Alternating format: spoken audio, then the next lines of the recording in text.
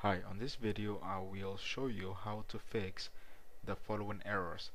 There are no active mixers devices available and there are no sound or audio devices installed on your system. Okay, so let's begin. As you can see, if you double click on your volume icon, you will get the following error. There are no active mixers devices available. And uh, this is this can be caused because of service the audio service can be turned off. So we're gonna fix it right now. So to begin click on start choose run on the open box type in services.msc press ok or enter. Now you have to search for the one that says Windows Audio.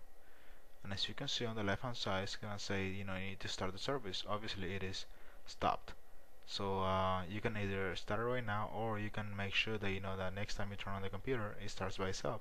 So double click on Windows Audio and uh, you're gonna get the properties um, box.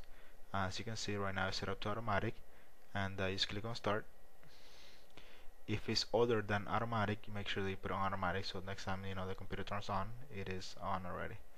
And uh, as you can see now if you double click on the volume icon now you have access to the volume controls and everything is working fine now. So that's about it